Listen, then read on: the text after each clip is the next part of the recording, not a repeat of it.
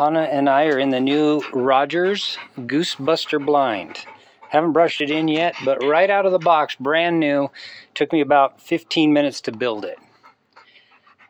What's nice is the frame, the metal frame, has wire cables inside and kind of like a tent uh, frame. When you pull it apart, it it collapses in. So it's all bagged up. It's only going to be about the size of a half a bale of hay. It has uh, shotgun uh, racks. Three of them comes with it, and they're rubber.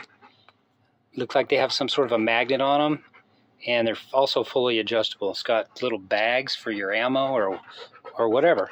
I like how it straps on the top and velcros down the side walls, and then the door is fully adjustable too with uh, cordage to allow you to seal out the weather heavy, pretty heavy duty canvas with a rubberized interior lining.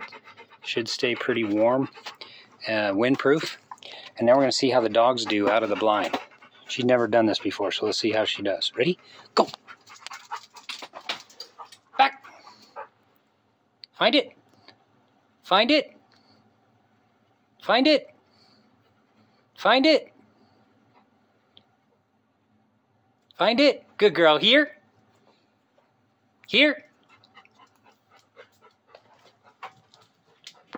Here, here, Hannah. Here. Come here, here.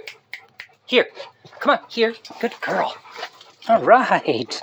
Ah, just a little bit of field work and she'll be appreciated just as much as I do. Lots of room in here. Lots of room. Three guys easy. Maybe even two dogs and all your gear. Thumbs up for 300 bucks.